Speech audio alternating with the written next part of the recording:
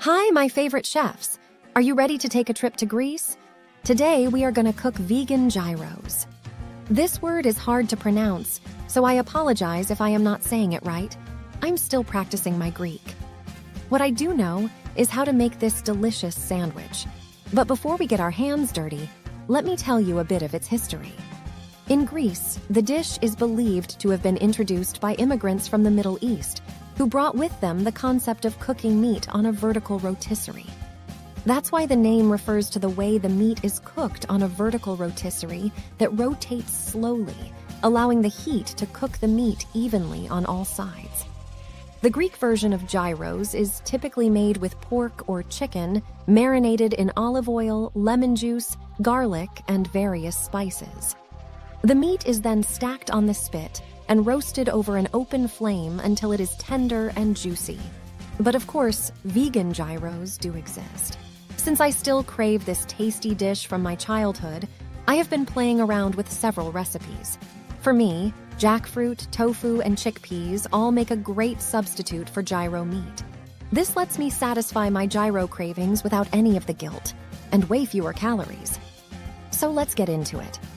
This recipe takes 20 minutes to prepare everything and 25 minutes to cook, and you can serve from 4 to 6 people.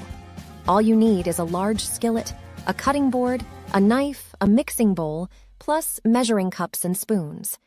These are the ingredients for the gyro filling. One block of extra firm tofu, drained and crumbled, one tablespoon of olive oil, two cloves of garlic, minced, one tablespoon of lemon juice, one tablespoon of dried oregano, salt and pepper to taste, four to six pieces of pita bread, one cup of lettuce, shredded, one cup of tomatoes, diced, and half a cup of red onion, thinly sliced.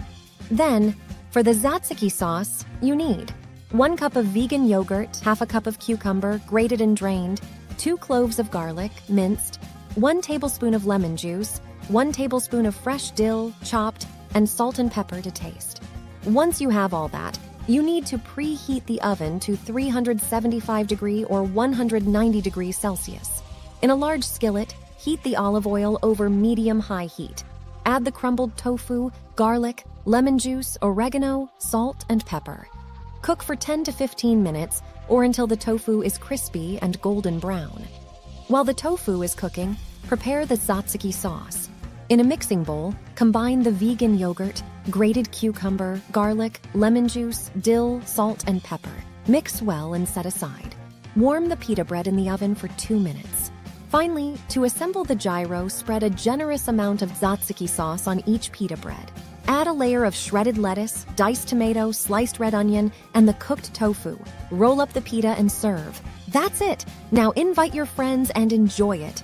If you want to see more videos like this, go visit cookingwithjade.com until next time.